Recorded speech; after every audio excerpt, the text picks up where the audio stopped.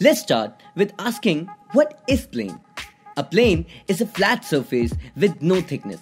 It is a two dimensional surface that can have infinite length and width. Walls, textops, book covers, and floors are some examples of planes. Let's see some useful properties of plane. Planes can give people ideas about design and construction. For example, the intersection of two non identical planes, such as the wall and ceiling, forms a line.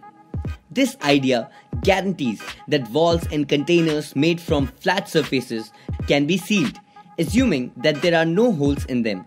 A saw blade cuts in a straight line because it represents two intersecting planes, the saw and the piece of wood. Another property of planes is that three non collinear points lie in the same plane.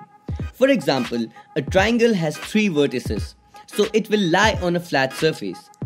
Three legged stools will never wobble because the three ends of the legs lie on the same plane regardless of their length. Four legged stools will sometimes wobble if one leg is longer or shorter than the other legs, because the end of one of the legs is on a different plane. Inclined planes, planes that are raised at an angle, are used for a variety of purposes.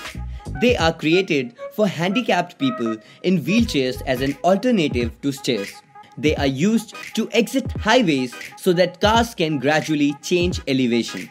Screws have an inclined plane that bends around its center so that they can create an angled entry when breaking a wall's surface.